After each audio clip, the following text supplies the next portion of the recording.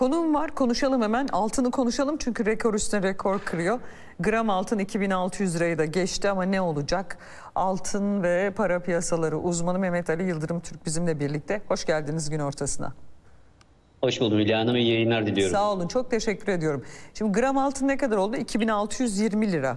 Ee, çeyreğe bakıyorum işte 4300 lira. Bunları aşıyor. Ya niye yükseliyor? Neden yükseliyor? Yani böyle bir hani psikolojik sınır vardır ya o sınır falan çoktan aşıldı herhalde.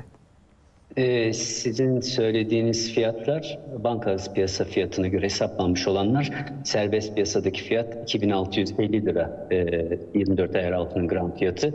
Çeyrek altında 4350-4375 lira seviyesinden işlem görüyor. Özellikle dış piyasaya bağlı bir yükselişin olduğunu söylemek çok yanlış olmayacak.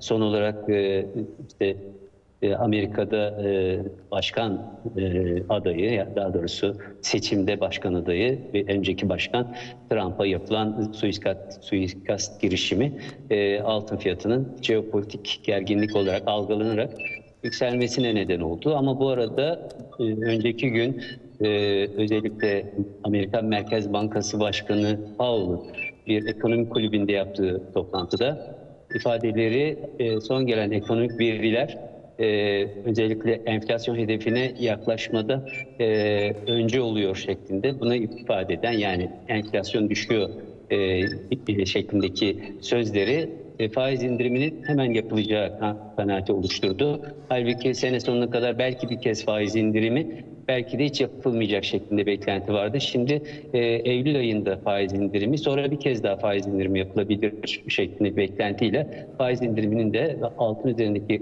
e, faiz baskısını azaltması altın fiyatının yükselmesine neden oldu ve 2380 dolar on seviyelerinden seyreden altının şu anda 2467 2470 dolar on seviyelerine ulaştığını görüyoruz.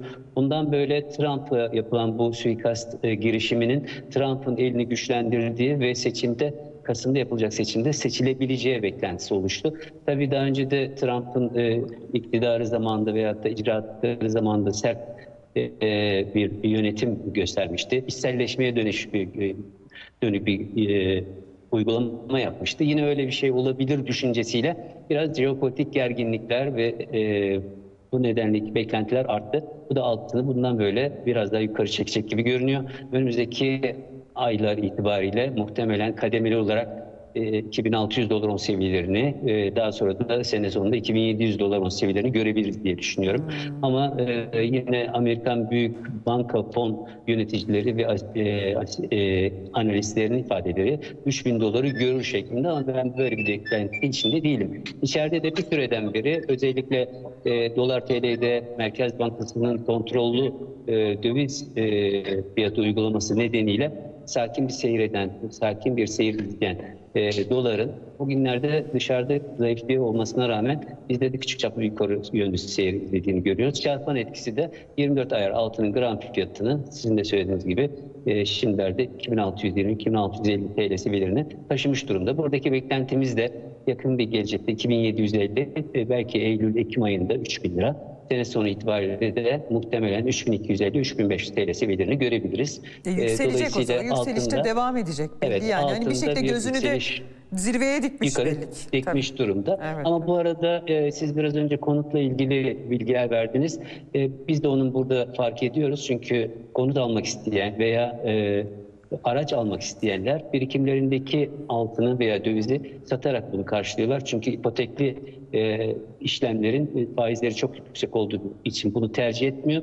Bu nedenle bir miktar satışlarında olduğunu görüyoruz. Alış satış dengesine baktığımızda müşteri, müşteri davranışlarında e, yüzde 50 gibi alıcı, yüzde 50 gibi satıcı şeklinde. Ama alışların daha küçük montanlı, satışların biraz daha büyük montanlı olduğunu görüyoruz.